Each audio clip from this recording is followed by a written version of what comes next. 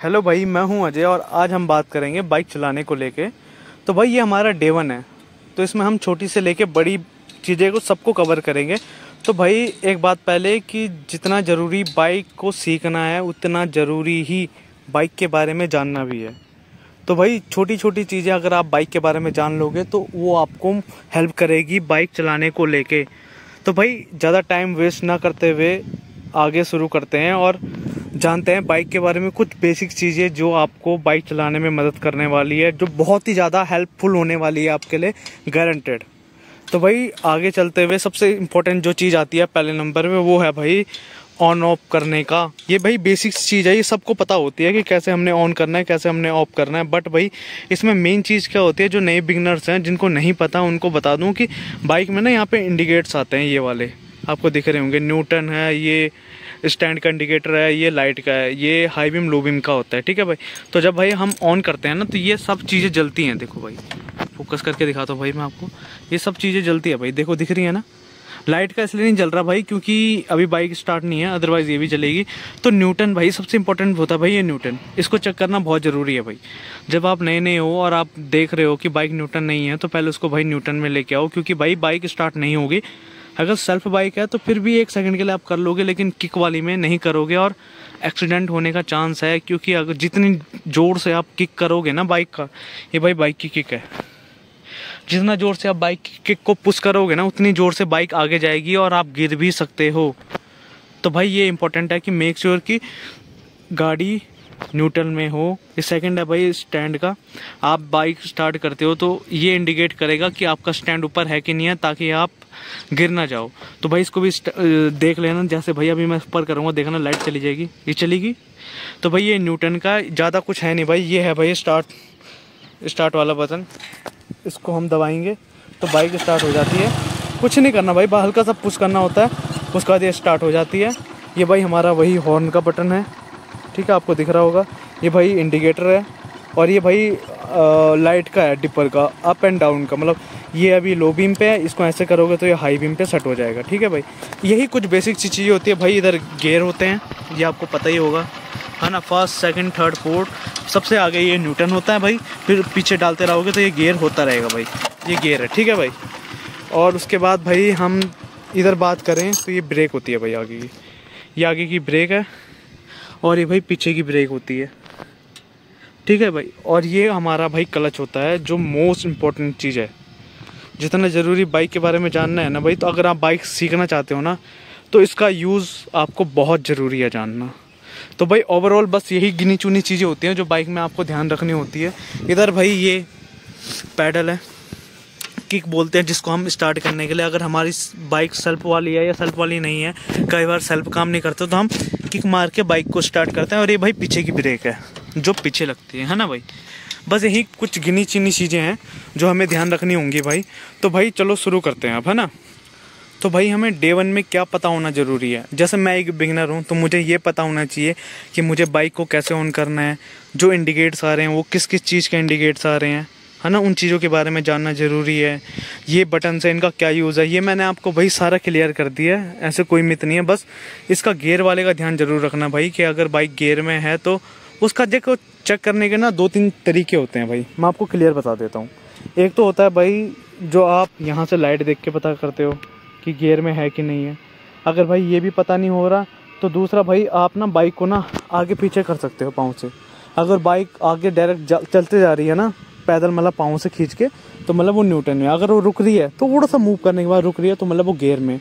तो आप गेयर को आगे शिफ्ट करके डाउन कर सकते हो। और जिन भाइयों को गेयर का नहीं पता लग रहा ना भाई, उनके लिए यहाँ पे भी है। देखो भाई गेयर शिफ्टिंग दिख रही है आपको भाई? पहला Newton first second third fourth और पीछे डालने है भाई सारे गेयर ठीक है? उसका जैसे जैसे डाउन करते रहोगे ना आप इसको गेयर को, वो न्यूटन होता रहेगा या गेयर छोटा होता रहेगा। बस भाई, इतनी ही जानकारी है इस बेसिक चीज़ को लेके कि जो बाइक के बारे में हमें जाननी होती है। कहाँ पे हमारा क्लच है, कहाँ पे हमारी ब्रेक है, कहाँ पे हमारे पाँव की ब्रेक है, कहाँ पे हमारा गेयर है। ये दो चार चीज़ें होती हैं भाई जानने के लिए। बाकी भाई, एक बार मैं आपको बैठ के प्रैक्टिकली दिखा देता हूँ कि बाइक स्टार्ट कैसे करनी है गेयर कैसे डालना है क्लच का यूज़ कैसे करना है। तो भाई, बने रहिए वीडियो में। तो भाई जैसे आप देख रहे हैं कि मैं बाइक के ऊपर आ गया हूँ तो अब आपको प्रैक्टिकली बताता हूँ कि आपको कैसे चेक करना है कि गाड़ी गेयर में है कि नहीं है। जैसे भाई मैंने ऑन कर दिया और हमारी गाड़ी अभी गेयर में नहीं है, ठीक है भाई? देखो मैं स्टार्ट करके दिखाऊँ। नहीं होती है ना भाई? नहीं होगी, क्योंकि गाड़ी गेयर में है। एक ऑप्शन होता है भाई कि आप अगर गाड़ी, जैसे आपकी गाड़ी में अगर सेल्फ है तो आप ना इसको क्लच को ऐसे दबाओगे और इसको ऐसे करके हल्का सा पुश करोगे तो बाइक स्टार्ट हो जाएगी। ये भाई पहला तरीका तो ये होता है, ठीक है? और दूसरा तरीका है भाई, आपको कैसे पता करना है कि बाइक आपकी गेयर में है। तो भाई, जैसे आपको ये, आपका बैटरी कई बार बाइक में डेड हो जाती है जैसे, है ना? तो हमें यहाँ पे इंडिकेट नहीं आता कि यहाँ पे न्यूटन है कि नहीं है है ना? तो उस केस में हमें जानना है कि बाइक गेयर में कैसे है। तो भाई सिंपल सा तरीका, आप बाइक को आगे पीछे धकेलो। देखो भाई, अटक गई ना भाई, अब आगे नहीं जा रही है। ये पीछे भी, अब आगे नहीं जा रही भाई।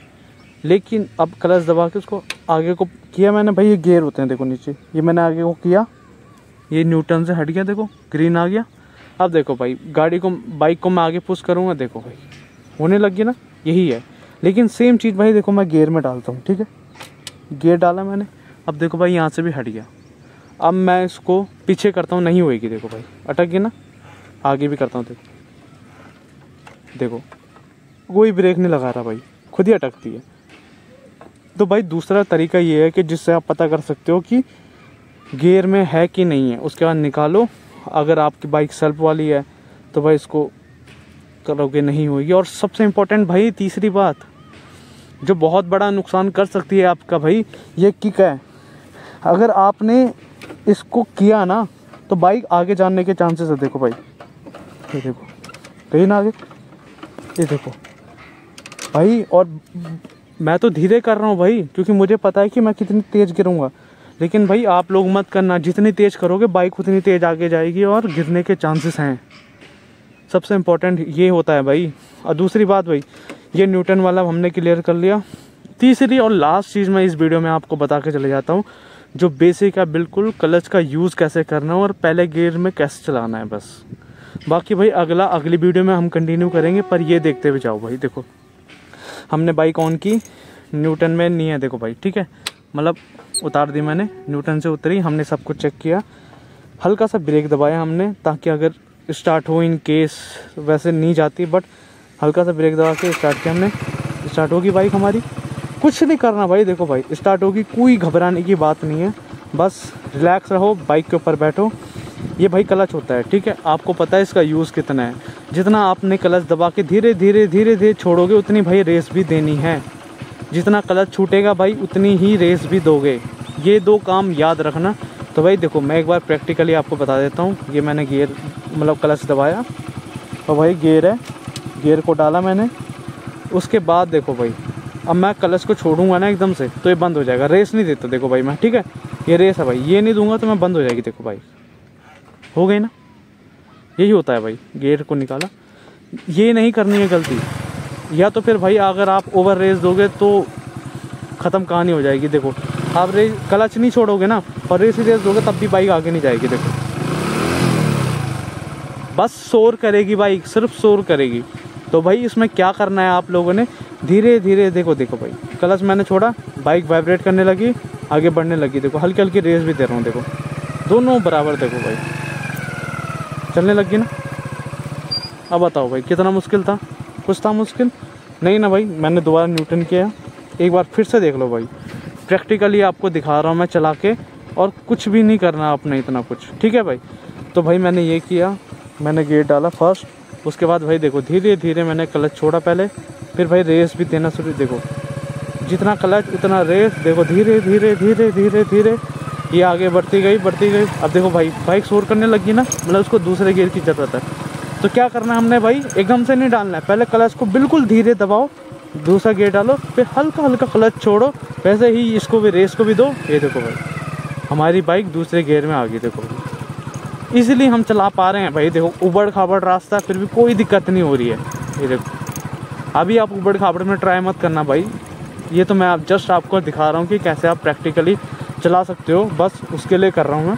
और भाई हेलमेट ज़रूर पहनना, आप लोगों से ये प्रार्थना है मेरी। प्लीज़ भाई, क्योंकि आप बिगनर हो तो भाई गिर सकते हो तो चोट ना लगे, ताकि अगली बार जल्दी से सीख सको, उसके लिए भाई आपको करना पड़ेगा। ये देखो भाई, अब रोकनी कैसे सबसे इंपॉर्टेंट बात ये होती है भाई। तो कई लोग क्या करते हैं ब्रेक मार देंगे तो वो क्लच प्लेट भाई फूक सकती है। ऐसे नहीं करना है। हमने क्या करना है? स्लो करनी है। जितनी स्लो हुई, उसके बाद हमने पहले क्लच दबाया। उसके बाद हमने ब्रेक मारी और ये गेट डाउन किया और ये बंद हो गई। ठीक है भाई? उम्मीद है भाई आप सबको ये बात समझ में आ गई होगी। मैं अजय मिलता हूँ आपको अगली वीडियो में। डे टू के साथ, एक अलग नई शुरुआत के साथ, जिस, जिसमें हम क्लच को कैसे यूज़ करना है एक्सलेट कब छोड़ना है ब्रेक कैसे दबानी है, कब दबानी है, और गियर कैसे चेंज करना है, उस चीज़ के बारे में जानेंगे। तो भाई, अगर इस वीडियो में आपको कुछ भी हेल्प मिली हो तो चैनल को सब्सक्राइब और वीडियो को लाइक ज़रूर कर देना और कमेंट में ज़रूर बताना भाई कि आपको क्या दिक्कत आई है, क्या नहीं आई है, जिसके वजह से हम उसको रिजॉल्व कर सकेंगे, अगली वीडियो हम उसके ऊपर बना सकेंगे। तो भाई मिलते हैं अगली वीडियो में, तब तक के लिए ध्यान रखिए आप अपना। ओके